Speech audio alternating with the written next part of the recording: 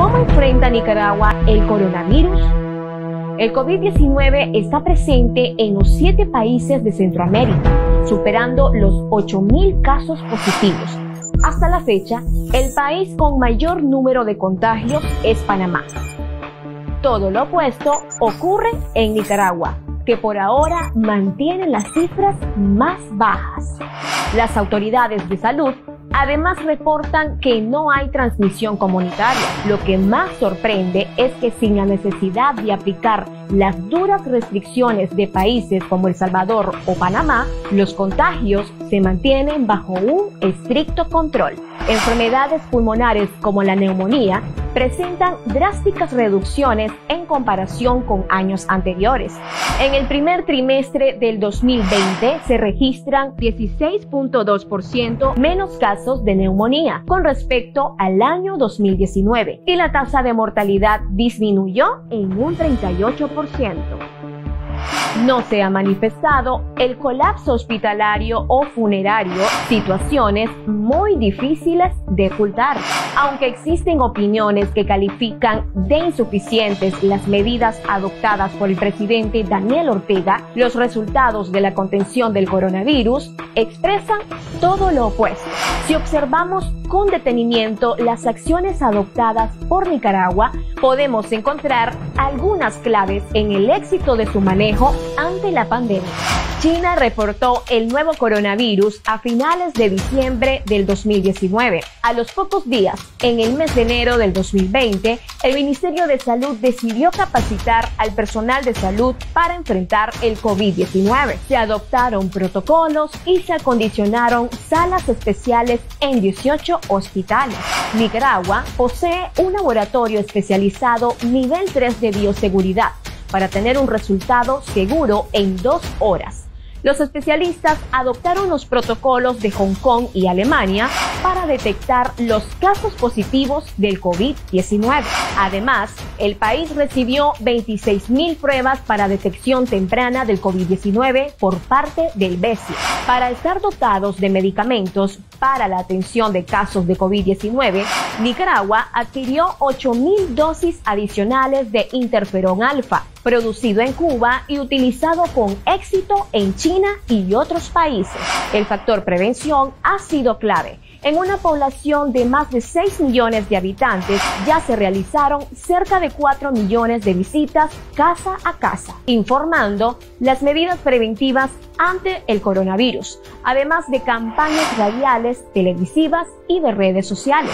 La situación de los puntos ciegos en las fronteras de Centroamérica es una vulnerabilidad por tanto, el gobierno de Nicaragua decidió no cerrar sus puestos fronterizos con el objetivo de tener mayor control de los casos positivos que ingresaran al país.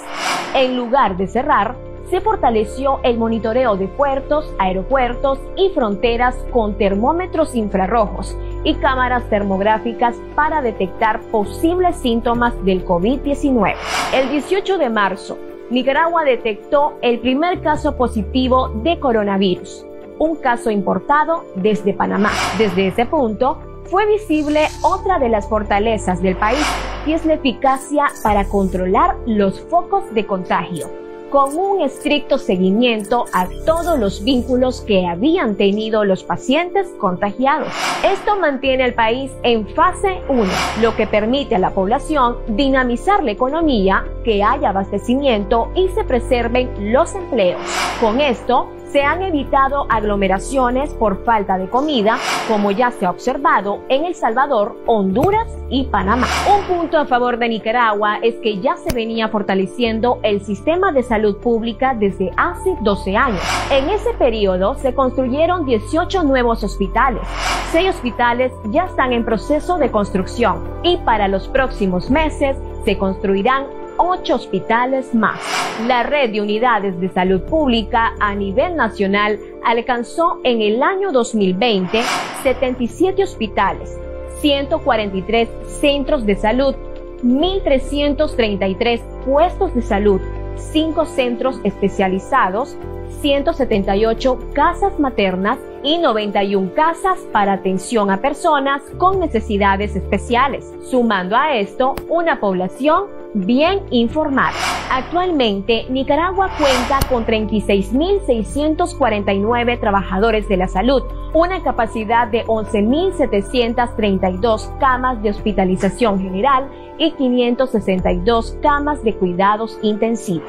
Este país ha invertido en nuevos equipos para la atención de pacientes, entre ellos 449 ventiladores, 954 monitores de signos vitales y 574 succionadores. El Ministerio de Salud de Nicaragua también inició una jornada masiva de vacunación. En tres semanas aplicarán a la población cerca de 2 millones de vacunas contra dos enfermedades, 1.6 millones de desparasitantes y 1.2 millones de vitaminas A, con el fin de prevenir otros padecimientos que puedan complicar la atención a la pandemia. Las revolucionarias acciones adaptadas a la realidad social permiten a Nicaragua enfrentar la fase 1 del coronavirus con resultados satisfactorios. A medida que la pandemia se desarrolle, ¿Qué pasos dará el país centroamericano?